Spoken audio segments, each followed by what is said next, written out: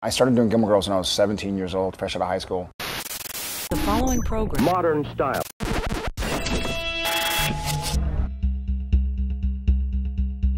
I'm twice the age now, and I'm 34 with a wife and kids, and I'm living in Austin, Texas. But when I showed up to shoot my scene and it was Stars Hollow again, it was a really, really powerful moment. Um, and I, I think of a lot of things that happened. I, I, I just can't. It's it's difficult for me to to pinpoint one moment. If I were to to try to, it was actually a scene with Ed Herrmann. We were standing outside. I think it was Rose's mechanic shop, and we're sitting there, and, and he's like, "How tall are you?" I'm like, "How tall you?" I say, "How tall are you?"